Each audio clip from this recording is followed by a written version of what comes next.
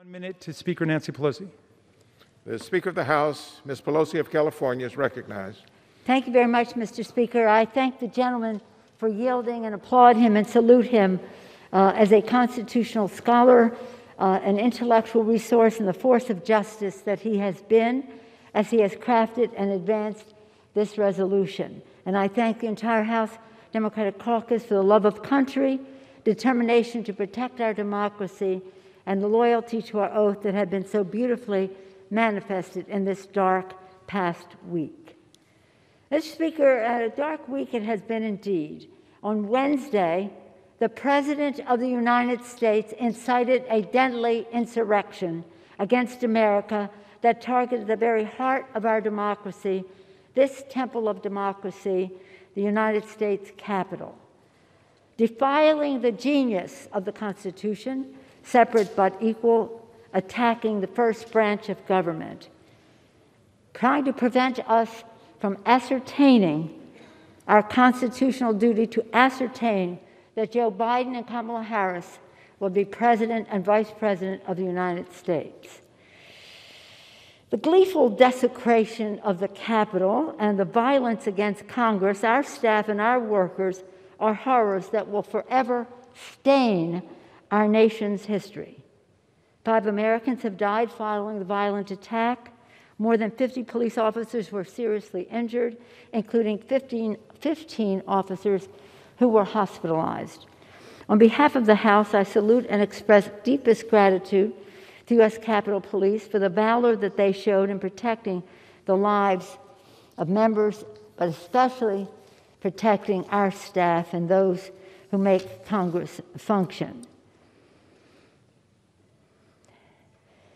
Mr. Speaker, this is a sad day for our country that we have to come to the floor in a way to defend the Constitution of the United States at this time.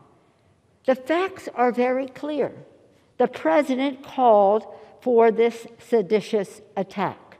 For days, he urged supporters to come to Washington for the insurrection. Wednesday morning, he participated in a rally to encourage the rioters to march on the Capitol and fight. And not only did he urge people to march on the Capitol and fight, he further fanned the flames, and he and his family cheered and celebrated the desecration of the Capitol. Later that day, as the dangers escalated, he ignored it and flat out rejected the pleas of Congress, including those of his own party, to call off his supporters, the rioters, the terrorists, as they engaged in vandalism and violence. Later that, uh, uh, and now the president is saying that he is not responsible and that his incitement to violence was totally appropriate. The president's actions demonstrate his absolute inability to discharge the most basic and fundamental powers and duties of his office. Therefore, the president must be removed from office immediately. This is a decision we make with the utmost solemnity and prayerfulness, which this crisis requires. Removal of the president is an unprecedented action, but it is required because he is an unprecedented, it is an unprecedented moment in history because the danger that he poses. And I heard the previous speaker say that we are uh, objecting to the president because we don't like the way he executes the duties. Executes his duties. No, we don't like it at all. Acts of sedition, incitement to insurrection, treasonous activity.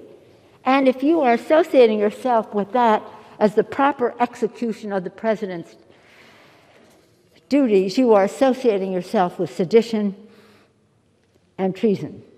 Yesterday, in a pro forma section, we introduced a unanimous consent request to take up Chairman, uh, uh, Congressman Raskin's legislation, which calls on the Vice President to mobilize the Cabinet to activate the 25th Amendment to remove the President from office. Again, to prevent him from causing more damage to our country. Who knows what he might do next? But House Republicans rejected this legislation. And so the president's unhinged, unstable, deranged acts of sedition may continue, endangering America and undermining our democracy. Now we are taking up this legislation in regular session, After passage, we are calling on the Vice President to respond within 24 hours of passage. This resolution gives House Republicans the clear choice to honor the oath of office, to defend our democracy, and to uphold the sacred trust given to us by the Constitution and by those whom we represent. Mr. Speaker, during the President, Trump presidency, this four years, and especially during this sad time, I recall the words of the great Israeli poet Ehud Manor. And that's what he said when he said, I can't keep silent in light of how my country has changed her face. Won't quit trying to remind her in her ears, I'll sing my cries until she opens her eyes. I can't keep silent of how my country's changed her face. I urge my Republican colleagues to open their eyes and to finally hold this president accountable. The security of our country and the future of our very democracy are at stake. When we pray for God to bless America, let us hope that that blessing comes down strongly on us in the next few days. With that, Mr. Chairman, Mr. Speaker, I yield back the balance of my time and uh, again applaud the great leadership of Mr. Raskin.